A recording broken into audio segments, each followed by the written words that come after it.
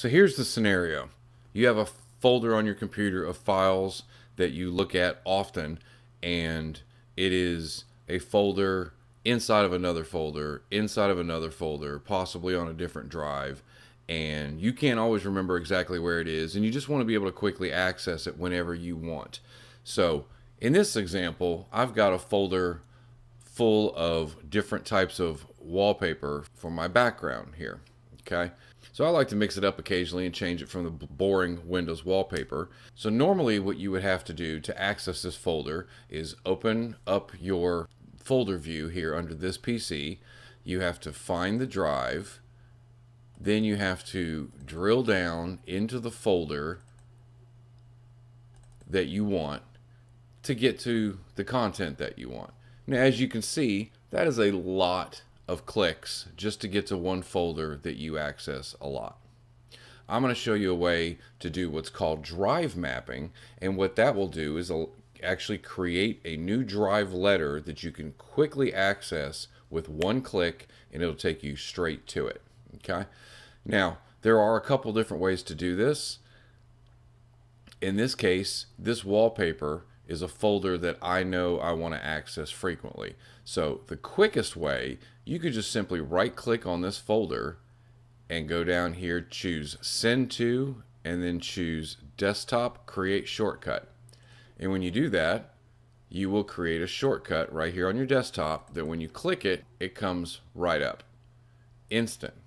Now, that's great if you just want to quickly access the files randomly. It's not the ideal long-term solution because sometimes you may have a program like a video editing program or something along those lines where you're constantly writing to that folder. And as you can see, the path is still long. It's still, you'd still have to drill down into that folder to get to it. So what I'm going to do is I'm going to show you a better way. Instead of having that big long path, you're just going to have one quick click. So first what you have to do is share that folder. So I'm going to open up that folder again. Now this wallpaper folder as you can see has a bunch of subfolders. My Tampa Bay pictures, my Tiger Woods stuff, you know, all kinds of stuff, military stuff, all the things that I find interesting. So I want to access this folder pretty frequently. So what I'm going to do is I'm going to go back to the folder just before it, which in this case is pictures. I'm going to right click on the folder that I want to eventually map. But first thing I have to do is I have to share this folder. So what you do is you right click on the folder and go down to the, here, left click properties. You'll get a properties window that comes up that tells you the properties of all the files inside this folder. If you click right here where it says sharing, now you have the very first option here gives you the option to share. So you click on share. You want to click right here and choose everyone and then add. And you see now everyone is listed here. The default setting only lets you read what's in that folder. If you want to be able to write to it, click on this arrow and then select read write as you can see. Now everyone who has access to the share can read and write to that folder.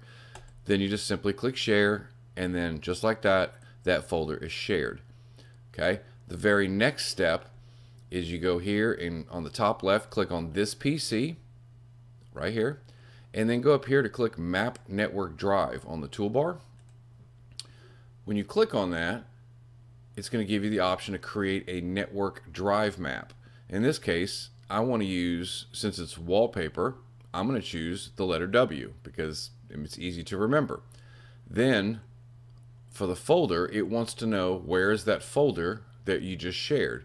So you would click on Browse, and then because we shared that folder already, it's going to search the network, in this case, everything that's on my personal network, including drive shares. And then what it'll do is it'll pull up all the share drives that I created. And if you look right there, there is the wallpaper folder that I just created. So I'm going to select that Click OK. Leave Reconnect at Sign In, and then click Finish. Now when you look under this PC, in the list of drives, if you look right here under the W drive, it goes straight to that folder with all of those subfolders in it. So anytime I want to access those documents or pictures or videos or whatever, I don't have to type in that big long path. All I have to do is go down here, click on the W drive, and there's everything I want right there very quickly. Two clicks, boom, you're done. If this video helped you, please click on that like button for me. It really helps me. If you enjoy this type of content, please consider subscribing to my channel so that you get notified anytime I make new content like this for you. Helpful Windows tricks and things like that. So, that being said, have a great day and good luck and have fun.